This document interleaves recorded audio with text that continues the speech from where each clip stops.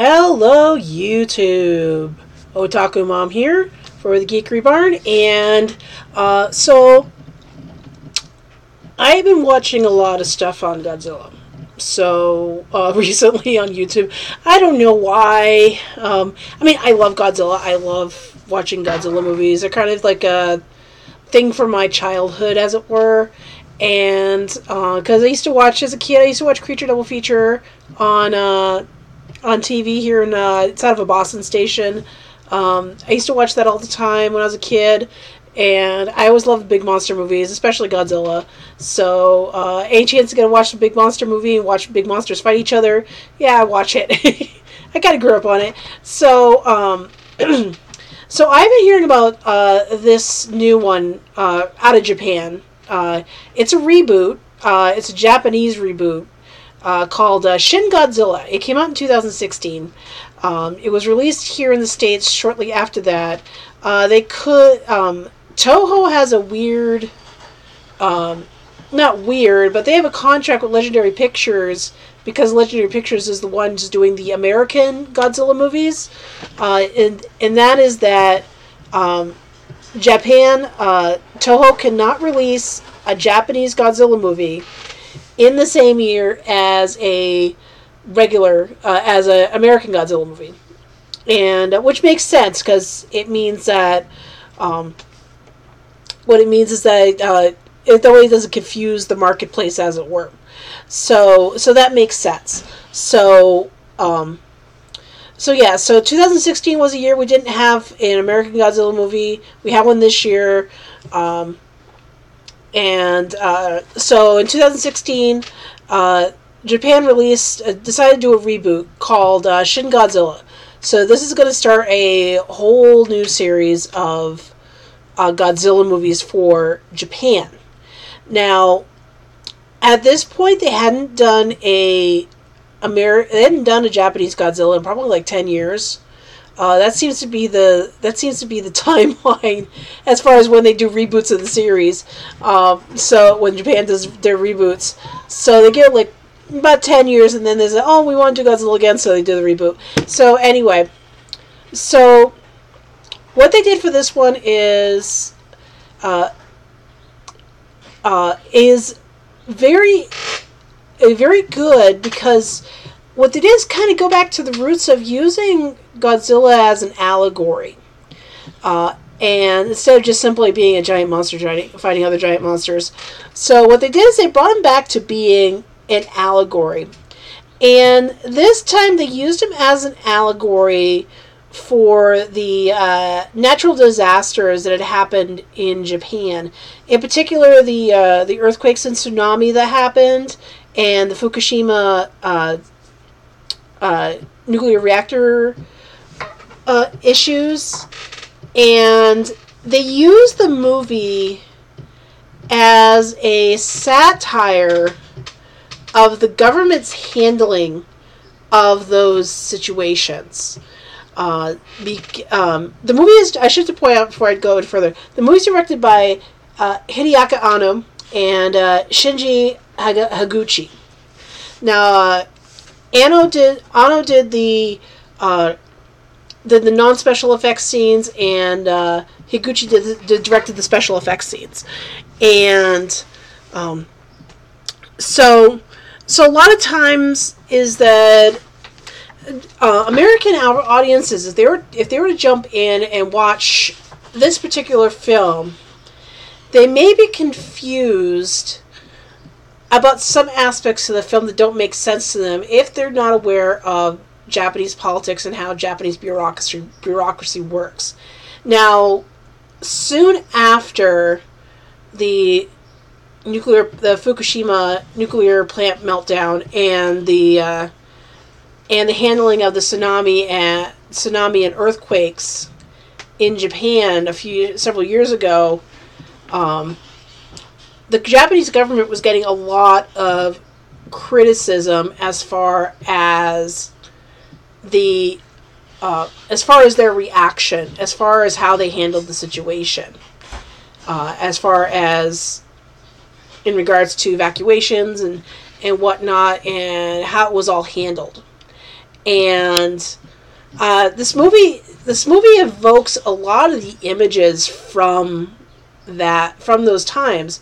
So there's a lot of shots in the film where you see the boats uh, the boats getting put onto the onto the land. You see um, a lot of shots of the of the water coming in. You see a lot of shots of uh, buildings getting destroyed. Obviously, because Godzilla, and a lot of it is.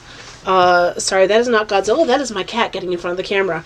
Um, so you see a lot of shots of the um, so you see a lot of these disaster shots that kind of evoke that feeling of what was going on during those days. There's uh, and and that's what it's meant to do. Is it's meant to show the panic that was going on at that time, and um, and then they cut to the government agent. They cut to the the government and it seems like they're having these constant meetings about what to do about every single situation and they have a meeting and said okay we're gonna we're done with this meeting let's go in the next room and have our next meeting and uh, it seems like um, which is part of the joke in that um, the uh, part of the satire being that they're having these constant meetings without really doing anything. Um, now they don't portray the government officials as being uncaring. Uh, they kind of portray them as having their hands tied on a lot of this because uh, Anno, in evoking the Japanese government in this and their feelings on the um, and on how they handled the situation, he doesn't really portray them as so much as being uncaring to the situation. He shows them that they really do care, but as far as certain situations go, uh, he, sh- he kind of shows them as having their hands tied uh, in a lot of these situations. Um, so, just get So he kind of shows them as. pick up my mouse too. He shows them as having their hands tied. Um, in lot, because of the fact that they're trying, because the fact that they they have their own rules that they have to follow in order to in order to do in order to do what they need to do. Um, so, for example, uh, for example, for every single weapon that they have to fire against Godzilla, they have to ask the Prime Minister's permission for every single weapon, every individual weapon. He has to give his explicit permission, and uh, which he does. But uh, but it kind of kind of shows them that uh, it kind it kind of shows them a little, a little bit with their hands tied as to what to do because they have to follow this sort of bureaucracy, um, and also the fact that they're trying to give this they're trying to maintain this image of uh, calm and peace so that people don't panic and then something happens and the people panic anyway um, because of the fact that the government not that they lied to them per se, but that they didn't have all the information. So, um, so then they're proven as liars. Like there's a scene where, like there's a scene where the the prime minister um, is is giving a speech. He's telling he's giving everybody the, okay. Uh, he's telling everybody it's calm. They don't think that God's that the creature at this point he's called the creature. They don't think he's gonna go up on the land, and then somebody comes up to go and goes what, and then they cut in the monsters on the land. So.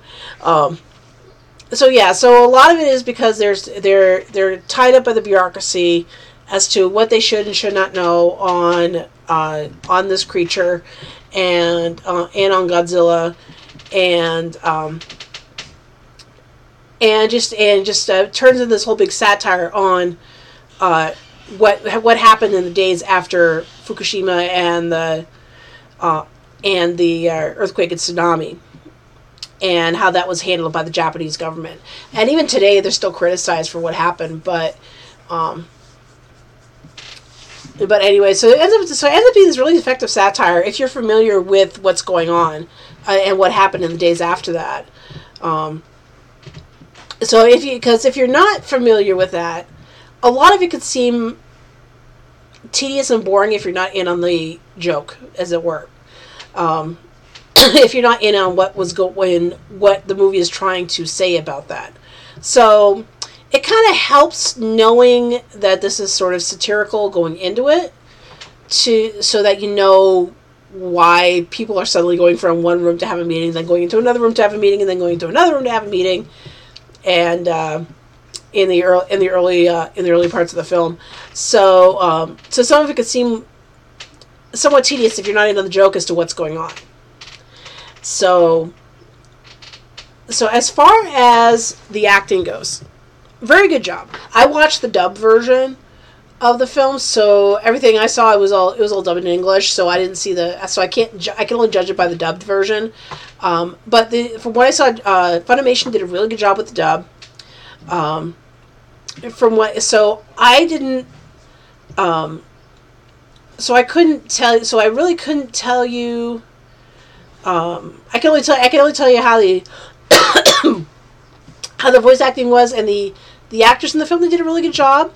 Um, I saw it in some some interview some reviews um, cited uh, the character of the half Japanese half American uh, bureaucrat who was the whose father is a senator is an American senator and is sort of the liaison and how they didn't think she was believable as they didn't think she was believable as being half Japanese, half American, as being not resident of Japan originally, because her English is like really bad in the film.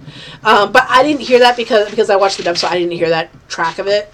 Um, so I couldn't tell you. But for what she was able to do, she did a good job. From what I saw, anyway, uh, with the dub. And. Uh, a lot of the actors are really like there. A lot of the actors are really good in this. You don't get to really know any of the characters in it because there are so many characters. In fact, one of the one of the ongoing jokes in the movie is the is the fact that each person has to in or instead of each person introducing themselves, uh, when a new person comes in, they put a caption under they put a caption underneath as to their name and title uh, in the Japanese government and it keeps going like that. And there's one character in particular they have to keep introducing him, and and each time his title gets longer and longer, and uh, it kind of show, kind of show how he goes with the ranks. His total his title just keeps getting longer and longer um, every time they introduce him. So um, so you don't get to really know any of the characters in depth, but you're not really meant to. It's just meant to sort of like be a behind the scenes kind of thing, as far as um, as far as get as far as not so much about these characters, but as much as about the Japanese bureaucracy and how it works, and uh, satire and how that works, and uh, how many.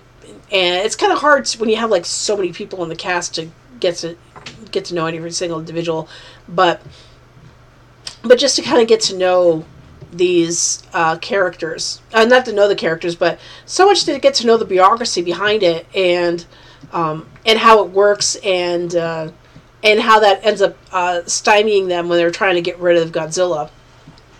Now, the next thing is about the special effects.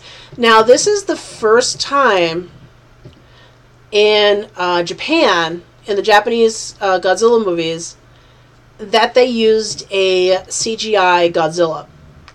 And let me tell you, this looks really good. These these effects were awesome. Uh, they did a really good job with these effects. Uh, Godzilla has never looked better. Uh, he's shown, and he's actually shown to go through stages. Um, so he doesn't start out as the Godzilla that you're seeing there. Uh, he actually start out. He actually goes through four forms before he's eventually stopped at the end. Um, and that's not a spoiler. He always gets stopped at the end. Um, but before he eventually gets stopped at the end, he actually goes through four forms, and he come and he gets bigger and bigger and bigger. So with each, so each time he gets bigger and bigger, and as you can see right there, he just looks awesome. That is awesome. Now the end of the movie is going to be debated by a lot of people, and uh, I'm sure it will be and if you if you watch if you haven't watched this yet, uh, the end of the movie is going to be debated as far as the final shots of uh, Godzilla at the end. Um, so I'm still trying to figure that out myself as to what it means. Uh, I know they said they're planning on doing more movies, and so, but they can't do the new one until they can't start shooting uh, the new one until 2020 because um, they just released King of the Monsters this year. Next, I think next year they're going with. Uh, I think the plan is to go with Godzilla versus King Kong, uh, if I remember correctly. I'm not sure. I don't, I don't remember. I think it's that, that way. So they said they can't start shooting anything until 2020 uh, for the next Godzilla movie because of the because of the deal they have with Legendary. And so with that with so with that in mind, uh, it may get explained. It may get explained in the next movie as to what's going on with this tail. But one of the cool things about this is that they, um, in keeping with, um, in keeping with the more traditional look of Godzilla, they also um, they've also the changes they've made to him. They've given him new abilities. Um, so now, so giving him new abilities. I'm not going to spoil any of the abilities, but they're pretty cool. um, as someone who's been watching Godzilla movies for like years, I I love what they did with they love what they did with these abilities. Um, so they did a really good job. Um, they with a whole new look, with whole new abilities, and just a whole new origin story for him. So, um, so my verdict is that seek this out and uh, and watch it for yourself. And um, it's available. It is available on if you you can purchase it on Vudu if you have a Vudu account. Um, it is available on Amazon Prime. Uh, it is available on DVD and Blu-ray. It is also on Funimation's site, so if you have Funimation account, you can watch it there. Um, so uh, I advise that you check this one out if you're if you are a huge Godzilla fan. So um, so later this weekend, I'm going to have a review of uh, Spider-Man: Far From Home. Uh, I'm going to see that tomorrow with my husband and my son. So I will get that up this weekend, and I will see you on the flip side. Okay, uh, Otaku Mom out. Bye.